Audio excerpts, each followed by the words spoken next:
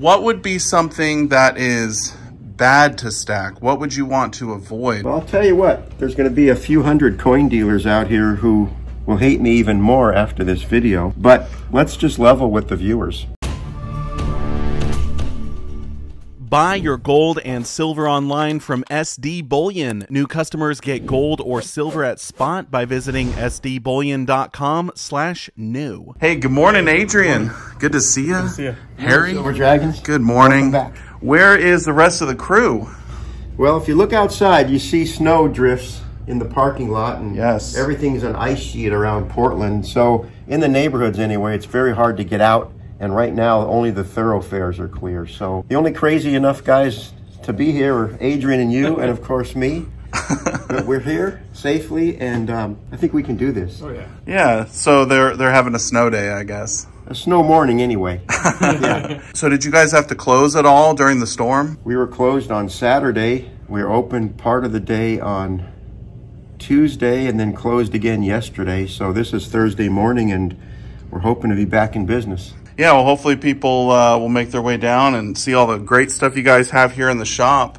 We got uh, still got some gold Krugerrands, looks like. Yes, lots of silver. Yeah, a lot of silver Got and the carded nadir bars once again, which have been very popular. A little bit more of a premium than the, than the raw bars, but people like the security of that, uh, the serial number and the card. So we're looking at some of the stuff that would be good to stack, you know, silver rounds, silver eagles, silver bars, Maples, don't forget maples maples, absolutely. from the last video. But what would be something that is bad to stack? What would you want to avoid? Well, I'll tell you what, there's going to be a few hundred coin dealers out here who will hate me even more after this video, but let's just level with the viewers. I'm going to have Adrian start out with some of the, the more commonly seen things. Okay, so what do we got here? Yeah, so we've got some more nickels here that are 35% silver. This is a U.S. mint nickel that was made during World War II, right? 42 to 45. So halfway through 42, they started making them out of silver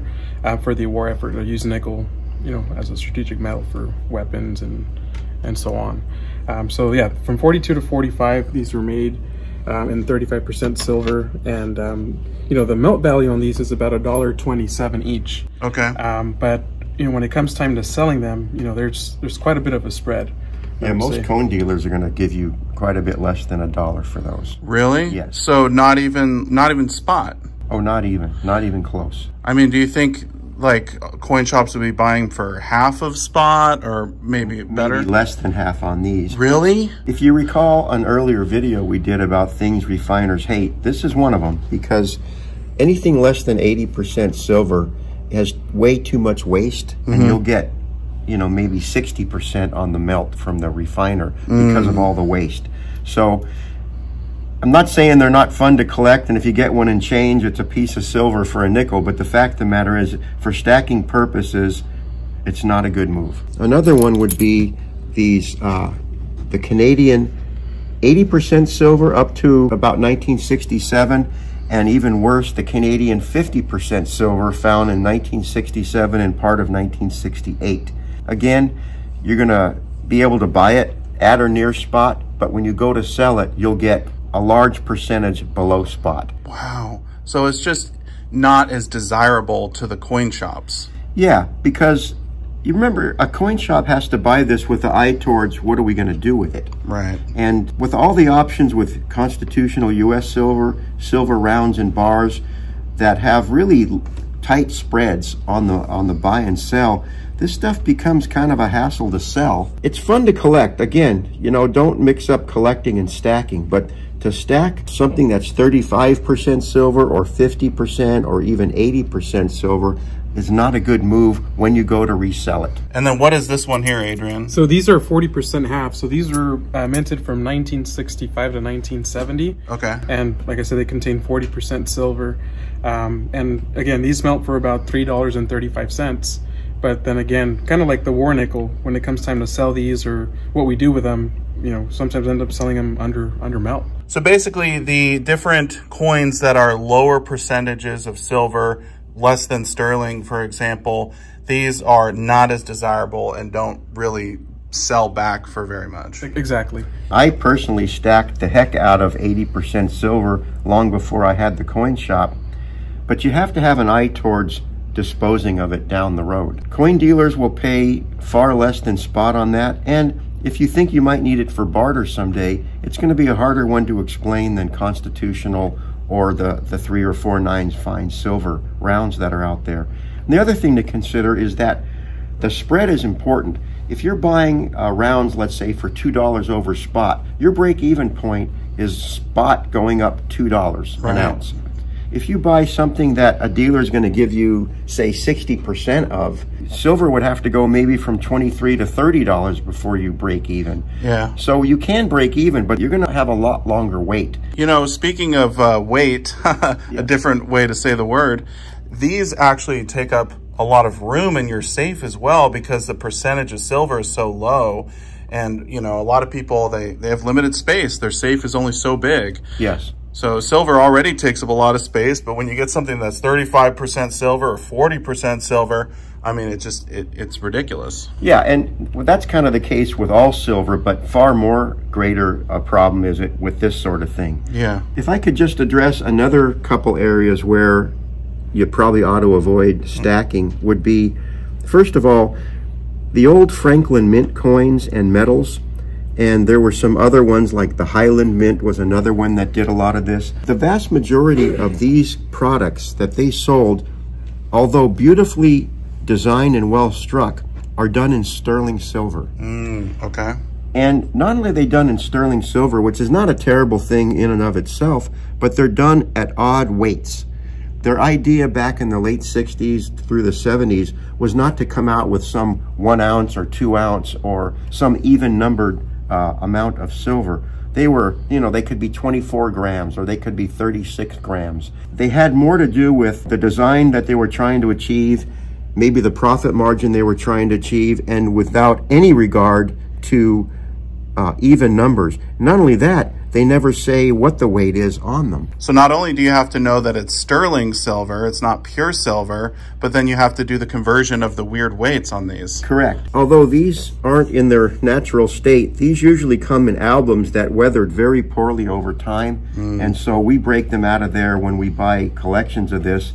And this is going to go to the refiner. Really? Yeah, and bear in mind too, our refiner locally here pays 90% of melt for these. So just using logic, if, if the dealer's only going to get 90%, you're going to get something well below melt when you sell this. Yeah. Now, if you inherited some of this and there's no cost to you, maybe the best market is to go to a dealer, but I would not go out of my way to find this stuff. Right. So if you see it maybe at a coin shop or a show or wherever, and it's kind of, you know, close to spot and you're thinking, oh, I'm getting a good deal, maybe you're not getting that great of a deal because again, the spread is not in your favor.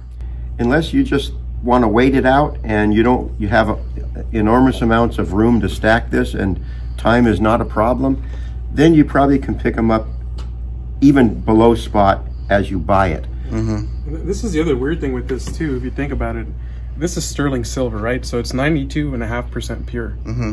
But then you have people that stack ninety percent silver, right? So it's a lower purity. Yeah. So on one hand, you know, it's higher purity silver, but the demand is just not there for it. right. but but see uh, a us dime that's 90% at least it has going for it the fact that it's recognizable as a us dime Right. These are just kind of arbitrary. what are these Yep, You Yeah. know? blanks. even, Yeah. even an experienced coin dealer would have to, unless they know that particular Franklin Mint set, going to have to break it out, weigh it, and do the math because there was no consistency from one series to another from the Franklin Mint or any of the other competitors they had. And along that same line of thinking would be sterling silver flatware and also serving trays and, and candelabras and things. All kinds of problems with those. Sterling silver spoons and forks and so forth is really the same idea as, these coins. Good silver, sterling silver, but what does it weigh? What's the math on this? Does someone believe it's sterling when you go to sell it? Now they've got to test it. Again, unless you got it in inheritance, which frankly most of these people who sell to us did, this sort of thing is not my first stop for a stacker. The other problem that I see with sterling is sometimes people have a trouble differentiating if it's plated in sterling or Yes. if it's solid sterling. Yes. So they'll think they're getting a solid sterling silver piece, but really there's like no silver in it at all. or or just a light, a light, very light uh, coating of silver and plate. Sterling silver flatware, unless it's very old and antiques, you know, from Europe, it says sterling on it. Right. Um, If it says William Rogers or um, some of the other brand names, Or they say silver on it too. If it says silver, it'll be more than likely silver plate. yes, If it's sterling, it's going to say sterling. Yeah. um, things, there are terms like German silver or nickel silver. These are all things that are just either no silver or plated, um, but not sterling. But I'm talking about even sterling itself. Unless you get it literally for nothing, stacking this is a big mistake. You're gonna have a long wait on the break even. Then going back to what you said, look how much room these things take, right?